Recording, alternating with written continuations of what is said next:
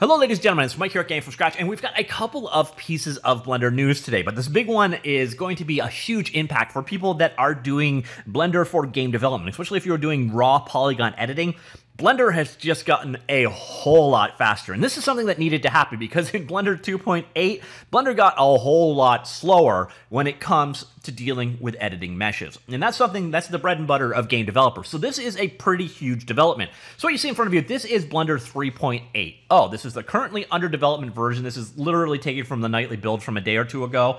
And I've also got Blender 2.80. Now, Blender 2.80 was a pretty big step forward from Blender 2.79 with a couple of regressions. A couple of the mesh editing tools went away. Uh, Boolean tools got worse. They've since been improved. But the biggest thing is the mesh editing speeds got pretty terrible. So what I'm going to do is showcase what things were like for Blender 2.80 and what they are like now with 3.0. And in the title card, I said three times faster. And to be honest, three times is underselling it. It's more so than that in my experiences. So here we are, Blender 2.80. We're going to use the uh, trusty default cube to do all of our examples here. And I'm just going to switch over into edit mode. And we're going to grab this guy who got all of the polygons selected. So there, we want everything selected, and we're gonna go and subdivide this guy. And we wanna have lots of polygons to work with to really showcase this. So uh, you'll see down here, our polygon count, we're at 48 triangles, and I'm just gonna repeat and rinse. We wanna get this up to about three quarters of a million triangles.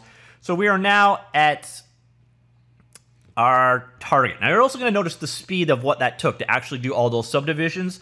So now we got this guy selected. What I'm going to go ahead and do, deselect everything. We're going to go ahead and do a box select like so. And I'm just going to grab the corner of this guy right here. All right, with all that selected, I'm going to hit the G key. And now I am going to wait for a slideshow. Each time I move, this is painful. We're talking one frame per second. I'm not doing anything to really like, like it literally is updating basically once a frame, if that. Depending on how far I move it or how much of an update it is, this is hard to work with. And we're only talking to three quarter of a million polygons here. You start getting uh, into these kind of models and meshes, and this is this is the, the kind of levels people work at in the world of game development these days. You know, you do a retopo later on.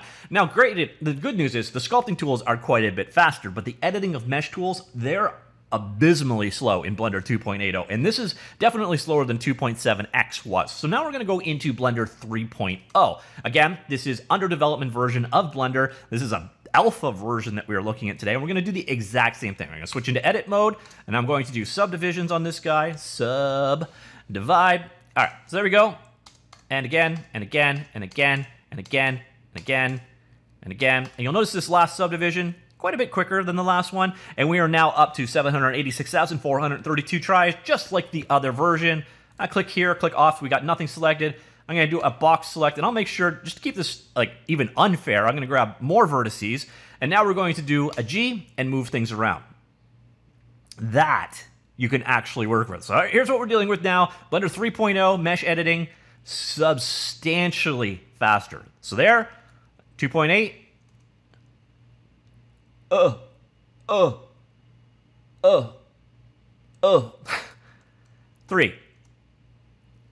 So again, if you are doing polygonal modeling, this is going to be a huge deal for you. And I would actually, I, I, would ask you, am I underselling it by saying three times faster? Because that was what I actually saw from the original developer quote, editing mesh up to three times faster. This is more like 10 times faster to me. Now, I can actually run this and go, and you'll see here, 24 frames per second. And then when I start moving things around, we're getting between, say, six, six frames per second, maybe a little bit higher sometimes we're getting about six frames per second. And what we're doing over here, same deal, is what we're getting is uh, completely broken. So 22 frames per second, it's telling us 20, it's, I think we just basically breaking the frames per second counter, because eventually it will actually drop down to a much more accurate one. There we go, one frame per second. One frame per second. Pretty consistent, one frame per second. So you're looking one frame per second or six plus frames per second. That's six times faster that we're seeing here. This is a huge deal. But the cool thing here is in Blender 3.0, there's actually more speed improvements that we're going to see in just a second. We've got a couple of other pieces of news to talk about as well, but I thought that this one was definitely for game developers at the very least that are doing polygonal modeling. This is going to be a huge move forward, and I did find the one major area where uh, Blender 2.7 to Blender 2.8 got really bad was mesh editing and booleans. both have been fixed now, which is nice to see. Now, this actually doesn't come out from the middle of nowhere. Back in uh, May, they actually did a blog on their developer blog, basically talking about how mesh editing optimization was in progress. One of those areas where they're going, and they also just straight out admitted that 2.8x, there have been some performance regressions with mesh editing that haven't been addressed. So developers are aware of it, and they are working on it. So this was something that has been in process for quite a while. But 3.0, uh, that's where we're actually seeing some of the changes there. So uh, definitely good progress in that regard. Uh, by the way, if you want to go ahead and check things out for yourself, you do have the ability to go back and download any version of Blender at any time. Uh, that's actually pretty nice, up to and including uh, the end of the 2.9 branches right there. And then the developmental branches are also available on Blender as well. So that is, uh, if you want to go and check things out, you can do so no problem. Now, the other nice area, and this is coming from Blender Nation News, which is really tiny in my screen for some reason, um, they've also talked about uh, Blender getting significant performance boost uh, when it comes to sculpting performance as well. So performance increase can especially felt on base meshes upwards of 10,000 faces, with the patch more efficiently calculating uh, normals via a function that operates on a subset of faces rather than the whole mesh. So if you're doing multi-res sculpting, there's also a performance improvement there as well. So not just editing of meshes gets better, uh, multi-res sculpting gets better as well, which is definitely nice to see. Also, some more Blender news, completely unrelated to the performance gains, but not really worthy of its own video. Uh, Canonical is now offering Blender support. Now, Canonical is a name that probably sounds familiar to you, especially if you are a, a Unix user. Uh, they run Ubuntu. Uh, the, the, Ubuntu Unix distribution is canonical. And what they basically are is a veneer of uh, support for traditionally free software. So if you get say do uh, Ubuntu installs in your environment, but you need to have support or nobody's going to buy into using that operating system, well, that's where Canonical steps in. Well, the cool thing here is um, Canonical are going to be doing uh, paid support. So basically, if you need commercial support for Blender, if you're in a studio and you run into problems and you need professional experts to handle this stuff, uh, they are going to be handling that stuff right here. So this is also going hand in hand with the LTS or the long-term support versions of um, Blender that have been released as of recently. Those are the stable ones that if you're doing a long-term like uh, project and you want a stability in your um, your software, you use the LTS version. Well, those are the versions that they're going to be offering support on. So Canonical agrees on building and maintaining their own Blender services organization based on their trusted uh, Ubuntu Advantage platform. Revenue from the service will be partially shared with Blender, then invested in core Blender development and public support for LTS releases.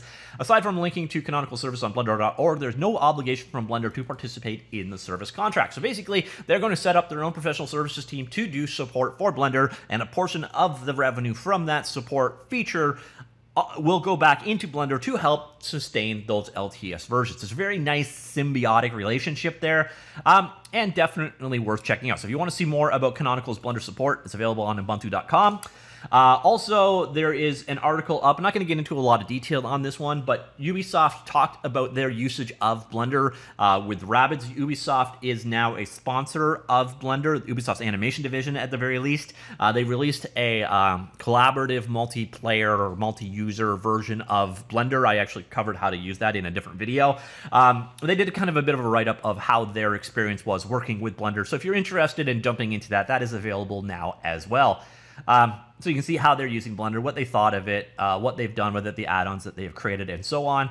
Uh, it's an interesting read, definitely worth checking out. Now, these last two things, the canonical thing and the um, uh, the Ubisoft thing, probably don't qualify as stories on their own, uh, but put all together, definitely worth checking out. And these performance these performance enhancements, these are at the core level of things.